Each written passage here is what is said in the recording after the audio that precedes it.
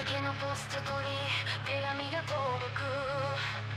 悪い妖怪が人々を苦しめている。妖怪の女の子その名はキタロウカラスに運ばれて妖怪退治の旅に出る。キタロウキタロウ妖怪の女の子。仲間と共に闇悪い妖怪が街を襲う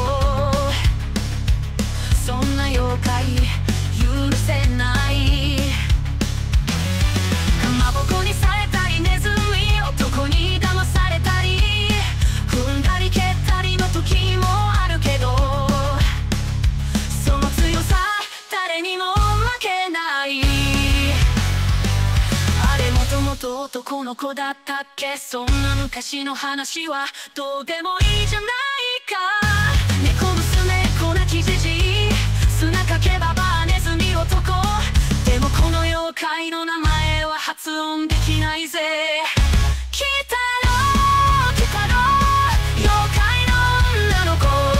正義の力とか色気で敵を打ち負かす。